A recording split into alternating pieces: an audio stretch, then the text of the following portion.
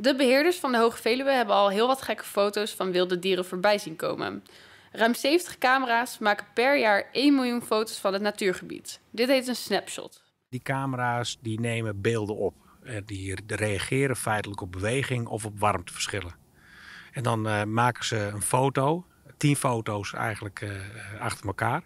Als er dan weer een trigger is, maken ze weer tien foto's. En zo krijg je een filmpje. En wij vragen het publiek om te kijken wat er op die filmpjes staat en dat ook aan ons door te geven. Dat werkt als volgt.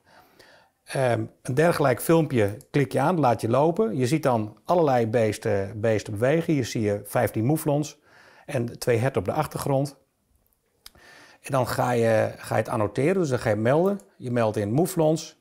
Er zitten 11 tot 15 stuks. Ik heb in ieder geval twee mannetjes gezien, die noteer ik dan. En dan zeg je selecteren. Vervolgens zeg je edelletten. Heb ik er twee gezien, daarachter. Twee, twee mannelijke edelletten. Kun je mooi zien aan de gewaaien. Selecteren. En doe je, doe je afronden. Hoeveel camera's staan er ongeveer? Ja, ruim 70 in de, op de hele Hoge Veluwe. Want het is 5000 hectare, dus uh, over een redelijk groot gebied.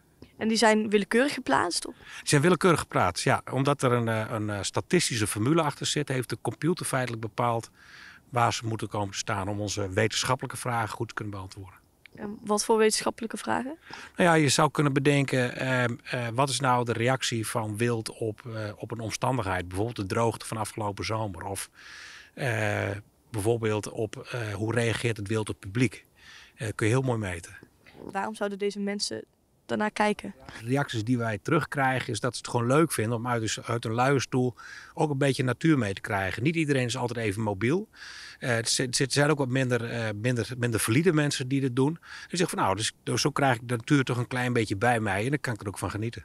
En zijn er veel mensen die hier naar kijken? Nou, dat is heel moeilijk te meten, maar ik verwacht snel een 50.000 mensen die dit inmiddels gedaan hebben. Over de hele wereld, moet ik eerlijk zeggen. Want we hebben ook al reacties teruggekregen uit bijvoorbeeld Zuid-Afrika.